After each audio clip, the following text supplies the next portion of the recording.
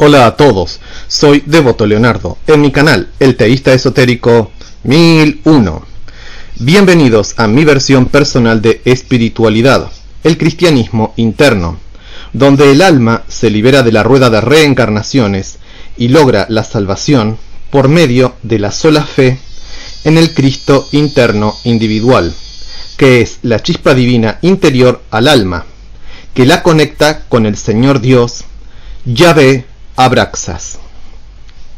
En mi sistema personal de creencias, Yahvé Abraxas es Dios, Fanes es el Cristo, Sofía es el Espíritu Santo, y los tres grandes avataras que habitaron nuestro mundo fueron el Maestro Krishna, el Maestro Siddhartha y el Maestro Jesús.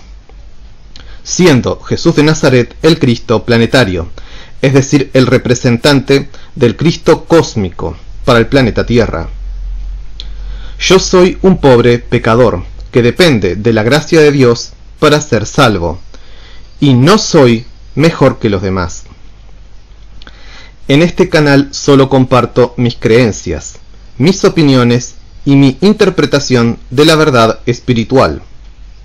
No creo en la autoridad de libros y maestros, sino que solo creo en la guía del Cristo interno, y cada quien debe seguir su propio camino.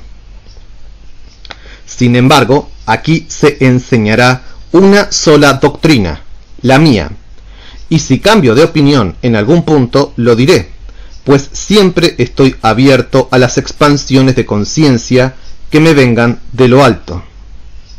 Sin debates, sin polémicas y con amor, que cada uno siga su propio camino en paz.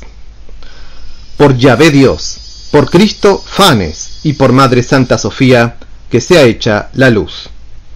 Amén. Paz a todos los seres. Clase 6 Shakti 27. El principio de la energía espiritual. Dios es la mente original, y la energía espiritual de Dios es el elemento pensamiento, que convive y que procede de la mente original. Todas las cosas han sido creadas por esta fuerza de Dios que es el elemento pensamiento. Todo, incluyendo materia, energía, espacio, tiempo, vida, mente, y espíritu, absolutamente todo, en esencia, está hecho de una transformación del elemento pensamiento, y substancialmente, sigue siendo ese elemento pensamiento, así como el agua sigue siendo agua, sin importar si tiene consistencia, líquida, gaseosa, o sólida, como agua líquida, o vapor de agua, o hielo de agua. La energía de Dios es una sola, en esencia, pero puede ser expresada como muchas energías, de características innumerables. La energía espiritual es el pensamiento emanado de la mente. En su punto alto es Dios, y en su punto bajo es materia. La energía espiritual es todopoderosa, y con ella Dios creó el universo.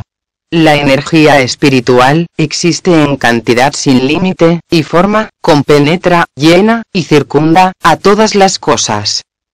Dios creó todo por su voluntad, y cuando Dios dijo sea hecha la luz, se hizo la luz. En mi mente, yo mando y yo prohíbo, con gran arte, dominando y transmutando, y así yo formo al jarrón dibujando en la luz, pero es la lluvia quien lo llena. Así es como voy de lo no manifiesto a lo manifiesto. Esta es la fuerza, fuente de toda fuerza, y este es el gran portento de la creación.